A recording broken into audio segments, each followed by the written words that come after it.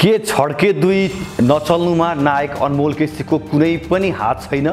के छड्के दुई नचल्नुको पछाडि निर्देशक र यसको निर्माण पक्षको मात्र गल्ती हो? आजको हिट नेपाल पोस्टमर्टमको अर्को एपिसोडमा हामी कुराकानी गर्छौँ। आज तपाईँलाई हामी यो बारेमा जानकारी गराउँछौँ तर अर्को एपिसोडमा यो एपिसोडमा भने हामी दुईवटा विषयमा कुराकानी गर्दैछौँ। दुईवटा कुरालाई पोस्टमर्टम गर्दैछौँ। नमस्कार तपाईँलाई हिट नेपालको हिट पोस्टमर्टममा धेरै धेरै स्वागत छ। म तपाईँकै विजय आवाज। आदरणीय दर्शकबिन्द आज नायक प्रदीप खड्काको जन्मदिन। सबैभन्दा पहिला प्रदीप खड्कालाई हिट नेपालको तर्फबाट धेरै धेरै शुभकामना छ। प्रदीप खड्काले चाहेका प्रदीप खड्काले खोजेका र प्रदीप खड्काले जुन खालको सपना देखिरहेका छन् नेपाली फिल्मलाई लिएर र उनको बलिउडमा छलाङ मार्ने भन्ने खालका खबरहरू पनि सार्वजनिक भइरहेका छन् त्यसको लागि हामी हार्दिक मङ्गलमय शुभकामना व्यक्त गर्न चाहन्छौँ। नेपाली सिनेमा इन्डस्ट्रीले नायक प्रदीप खड्कालाई दुईवटा अवतारमा पाएको छ एउटा स्टार र अर्को अभिनयमा अब्बल यी दुई कुरामा प्रदीप खड्का सधैँ अब्बल छन् तर कहाँ कहाँ चुकिरहेका छन् प्रदीप खड्का त्यसको बारेमा कुरा गर्छौँ साथमा नेपाली सिनेमा इन्डस्ट्रीका दुई नायिका पूजा शर्मा र आँचल शर्मा जो एक अर्कालाई सामाजिक सञ्जाल इन्स्टाग्राममा अनफलो समेत गरेका थिए उनीहरू एकसाथ फिल्म खेल्नको लागि किन राजी भए त्यस्तो कुन पोइन्ट थियो त्यस्तो कुन बिन्दु थियो जसले पूजा र आँचललाई एक ठाउँमा ल्यायो? हामी यसको बारेमा कुराकानी गर्छौँ पोस्टमार्टम गर्नेछौँ। सबभन्दा पहिला प्रदीप खड्काको बारेमा कुराकानी गरौँ। आदरणीय दर्शकबिन नेपाली सिनेमा इन्डस्ट्रीले धन्न धन्न एकजना अब्बल कलाकारलाई अस्ट्रेलिया पठाउनु परेको थियो। अझ भनौँ अस्ट्रेलिया जानको लागि तयार भएका प्रदीप खड्का अन्तत सिनेमा प्रेम गीतपछि रातारात सुपरस्टार बने। प्रेम गीतमा उनले गरेको अभिनय उनले गरेको भूमिकालाई लिएर दर्शकहरूले यति धेरै मन पराउनु भयो त्यसपछि उनको अस्ट्रेलिया जाने सपना रोकियो। हुन त प्रदीप खड्का अस्ट्रेलिया गइरहेका छन् तर अस्ट्रेलिया उनी एउटा स्टारको रूपमा जाने गरेका छन्। प्रदीप खड्काको पछिल्लो रिलिज प्रेम गीत तिनसम्म आइपुग्दा उनको करियरमा अप्स एन्ड डाउन खुबै देखिएको छ।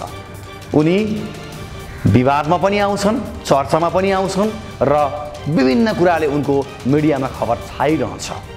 नेपाली फिल्म इन्डस्ट्रीमा प्रदीप खड्कालाई फिल्ममा लिनको लागि मरिहत्ते गर्ने निर्माण पक्षको कुनै अभाव छैन र हामीले बुझेअनुसार पछिल्लो सिनेमा कामिनको लागि त उनले पचास लाख रुपियाँ पारिश्रमिक समेत लिएका छन्।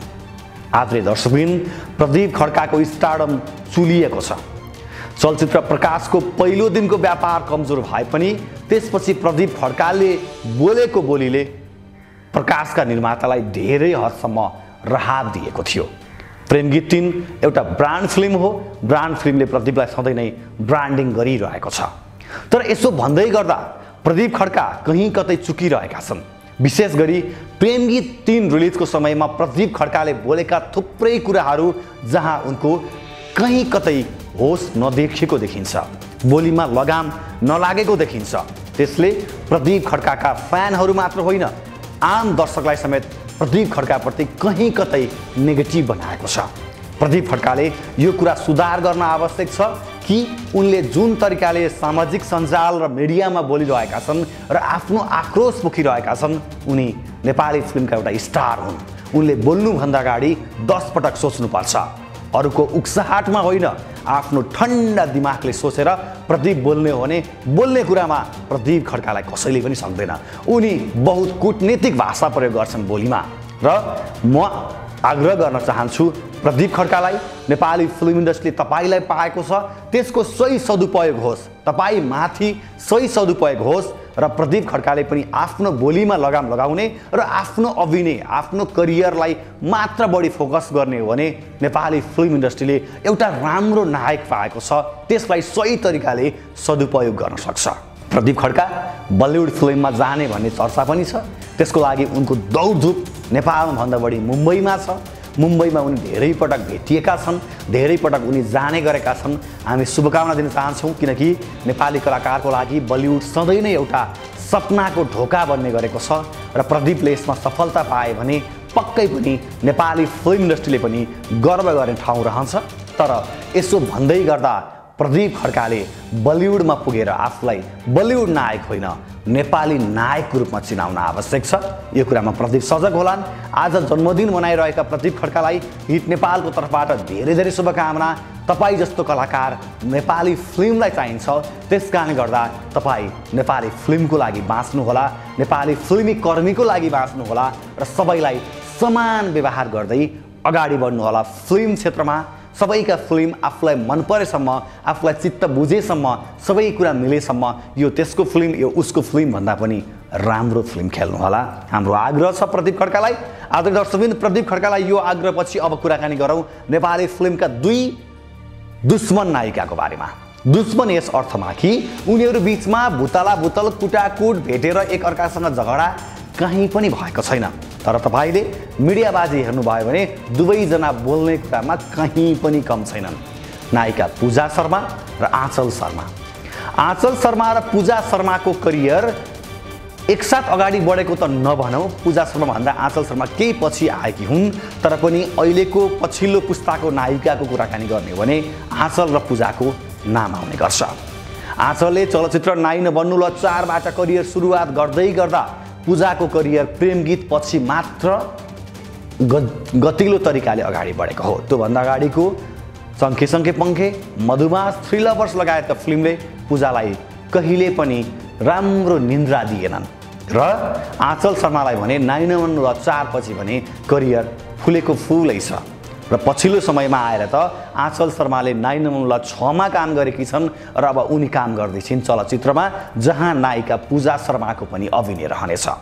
पूजा र आँचलले एकअर्कालाई सामाजिक सञ्जाल इन्स्टाग्राममा पनि अनफलो गरेका छन्। विशेष गरी नायक पल शाहको केसपछि पूजा शर्माले जसरी पललाई सपोर्ट गरेकी थिइन् त्यो कुराले पक्कै पनि विभिन्न खालको चर्चा पाएको थियो। त्यसपछि आँचलले अनफलो गरेको देखिन्छ। अब आँचलले अनफलो गर्नुको कारण के हुनसक्छ? त्यो आँचलले नै जान्ने कुरा भयो। र आँचलले अनफलो गरेपछि पूजाले पनि अनफलो गर्ने नै भइन्। र यी दुई नायिका बिच कहिले पनि यिनीहरू एकसाथ काम गर्लान् यिनीहरू एकसाथ एउटै पर्दामा देखेलान् र एकसाथ यी दुई नायिकालाई लिएर कुनै निर्देशकले फिल्म बनाउने हिम्मत गर्लान् भन्ने धेरैले सोचेका थिएनन्।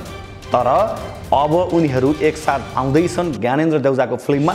यो कुरा तपाईँलाई हामीले भनिसकेका छौँ।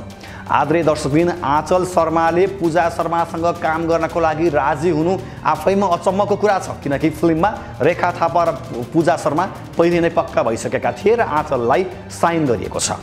आँचल शर्माले पूजासँग आफ्नो त्यस्तो कुनै पनि खालको दुश्मनी नभएको त्यस्तो कुनै पनि खालको शीत युद्ध नभएको तर मिडियामा जुन खालको चर्चा परिचर्चा गरिएको छ त्यो मिडियाको कारणले गर्दा भएको आफूहरू बिचमा नभएको भन्ने तर्क गरेकी रहेछन्। हामीले सुनेअनुसार र पूजा पनि आँचलसँग काम गर्न आफूलाई त्यस्तो कुनै खालको आपत्ति नभएको र आफूहरू एकसाथ काम गर्न सक्ने भनेर खुलेआम अब भनिरहेकी छन्। तर यो भन्दै गर्दा तपाईँले केही समय अगाडिको उनीहरूको दुई दुईको बयान हेर्नुहोस् त।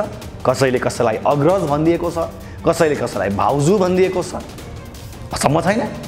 हिजोको दिनमा एक अर्कालाई अग्रज र भाउजू भन्दै कटाक्ष गर्ने यी दुई नायिका अब भने एकसाथ फिल्म खेल्न आएका छन् र यसको लागि ज्ञानेन्द्र देउजालाई धन्यवाद दिनुपर्छ। किनकि ज्ञानेन्द्र देउजाले चलचित्र झिङ्गे दाउमा आँचललाई काम गराएपछि आँचलले ज्ञानेन्द्र देउजाको फिल्म नगर्ने कुरै थिएन। पूजा पनि ज्ञानेन्द्र देउजासँग काम गर्नको लागि पक्कै पनि पहिल्यैबाट लालै थिइन्। हो त्यहाँबाट आयो मिड पोइन्ट र यसमा रेखा थापाको पनि राम्रो भूमिका छ।